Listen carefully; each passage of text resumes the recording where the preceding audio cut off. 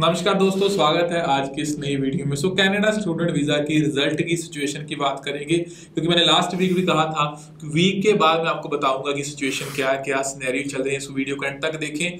Channel पे नए हैं तो make sure to subscribe this channel and student visa की किसी भी तरह की इन्फॉर्मेशन के लिए you can call us on nine zero four one zero nine zero four one zero so आज बात करेंगे रिज़ल्ट को लेके, क्या स्टेरियो है? क्योंकि नया वीक स्टार्ट हो चुका है, उसका एक दिन भी निकल चुका है ऑलमोस्ट और यहाँ पे बात करें तो रात को भी रिज़ल्ट आए हैं। तो सिचुएशन क्या है रिज़ल्ट के लिए? देखिए रिज़ल्ट जो है, एक तो मैं बता दूँ कि अच्छी न्यूज़ तो ये है कि रिज़ल्ट अभी भी आ रहे हैं। जी हाँ पीपीआर अभी भी आ रही है और सितंबर इनटेक की भी आ रही है। कुछ बच्चे ऐसे मेरे नॉलेज में हैं जिनकी क्लासेस सेवन सितंबर के आसपास है।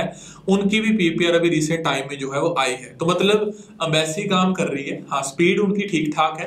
अम्बेसी काम कर रही है रिज़ल्ट दे रही है। अभी भी सितंबर के रिज़ल्ट मैंने पहले भी कहा था। सितंबर इनटेक रिज़ल्ट की बात करते हैं तो रिज़ल्ट अभी भी आते रहने और हो सकता पूरा सितंबर आएँगे।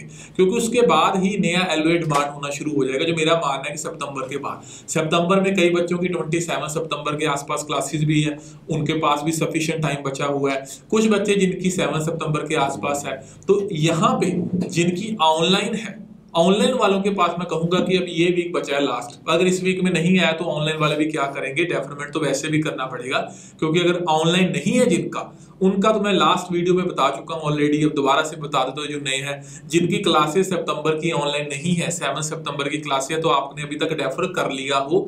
नहीं तो जैसे लॉयलिस्ट कॉलेज कर रहा है, बाकी भी कॉलेजेस हैं ऐसे मैक्सिमम कॉलेज सिर्फ़ एक कॉलेज नहीं बाकी कॉलेज भी हैं जो आपको डेफरमेंट जनवरी देने से मना कर देंगे कि हमारे पास बढ़ चुका है ऑलरेडी सो so, क्योंकि उसमें इस पे कुछ नहीं हो सकता वो वीज़ा भी आ जाता है तो ऐसे बच्चे भी कई बार परेशान होते हैं। तो डेफरमेंट वो कर चुके हूँ आई होप जिनकी क्लासेस सात को है लेकिन ऑनलाइन नहीं थी क्योंकि मैंने पहले बता दिया था वीज़ा स्टैंपिंग पंद्रह दिन बीस दिन ले लेगी और अभी आपका ट्रैवल करना पॉसिबल नहीं है।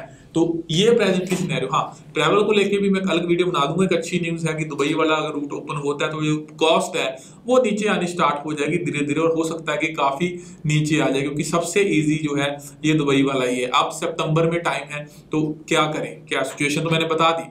रिज़ल्ट ऑलरेडी आ रहे हैं और डेली बेस पे पीपीआर आ रही है। इवन वीकेंड पे भी कुछ बच्चों को पीपीआर आए। तो यहाँ पे पीपीआर आ रही है। पेंडिंग वाले कहेंगे जी, हमारा कब तक आ जाएगा? छह महीने हो गए हैं, कितना रिज़ल्ट आएगा? तो देखिए, इसका आंसर आज भी मेरे पास नहीं है कि आपका रिज़ल्ट कब आएगा। रिज़ल्ट आ रहे हैं कि नहीं आ रहे, वो हम अपना बता सकते हैं, क्योंकि हमारे भी केसेस हैं, लेकिन हमारे पास पूरे इंडिया के केसेस नहीं होंगे। तो आप भी कई ग्रुप में होंगे, आपके पास भी अपडेट है कि रिज़ल्ट तो आ रहे हैं। अब ना चाहते हुए डेफरमेंट तो करना ही पड़ेगा, क्योंकि जो सात सितंबर वाली क्लासेस है, ये दो दिन रह गए, दो तीन दिन और निकले तो क्या है, बस खत्म, फिर सितंबर वाले चाहे ऑनलाइन क्लासेस भी अवेलेबल है, आपको भी तो डेफर करना पड़ेगा। बात आती है कि डेफरमेंट का जो प्रूफ है, वो कब अपलोड करें। जो आपका डेवलपमेंट का प्रूफ है, उसको आप अपलोड करें थोड़ा सा वेट कर लें, ठीक है? अगर तो आपकी क्लासेस ऑनलाइन है तो थोड़ा वेट कर ले, कई बार कॉलेज एक्सटेंशन दे देते हैं, नहीं तो डेवलपमेंट अप्लाई करें कॉलेज वगैरह रिवर्ट भी थोड़ा सा टाइम ले रहे हैं और डेफरमेंट आने में भी थोड़ा बहुत टाइम लग सकता है। तो डेफरमेंट अपलोड कब करना वो आपकी इच्छा है, लेकिन मैं रिकमेंड करूँगा कि सितंबर के बाद तो 100 परसेंट अपडेट कर दें।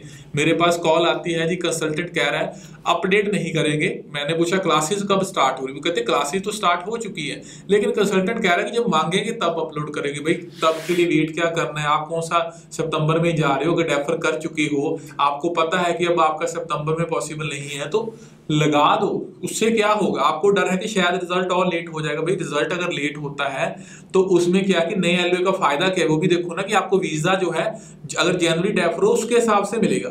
ऐसे मिलेगा सितंबर का वीज़ा फिर आप वहाँ पहुंचोगे कंसल्टेंट को तो कोई फ़र्क नहीं है। आप वहाँ एक्स्ट्रा पैसे पे करके अपनी एक्सटेंशन लोगे कि मेरे छह महीने का कोर्स रहता है, मुझे एक्सटेंशन दी जाए। ये मेला आपको पड़ेगा। इसमें कुछ ज़्यादा चैलेंज नहीं आता। जिनके वीज़ा आ चुके हैं, उनकी बात कर ले, आपको डेफर करना पड़ रहा होगा अगले सितंबर का।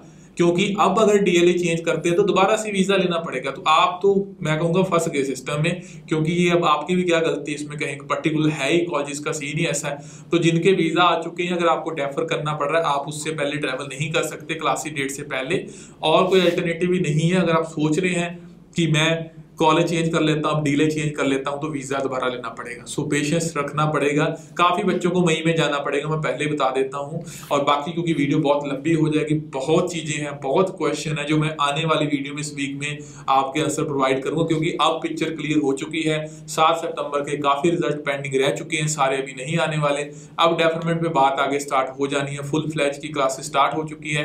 रिज़ल्ट का कोई अता पिता नहीं है तो क्या करें? एलओ कब लगाएँ, क्या स्नैरियो तो उसके लिए मैंने जितना हो सके अब तक की अपडेट इस वीडियो में प्रोवाइड कर दी है। फर्दर अपडेट के लिए चैनल को सब्सक्राइब कर ले।